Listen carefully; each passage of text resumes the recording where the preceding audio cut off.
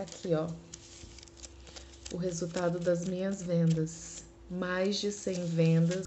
A minha loja cresceu 400% em vendas. E em 15 dias de lançamento da loja, nós batemos a meta do mês. E a gente conseguiu passar da marca de 10 a 15 pedidos por dia. E logo na primeira semana de venda eu consegui faturar quase 3 mil reais. A Fada Vênus tem pedidos todos os dias. De 500 reais eu fui para 5 mil reais. Eu dobrei o meu faturamento. Na primeira campanha que eu fiz, eu bati a minha meta.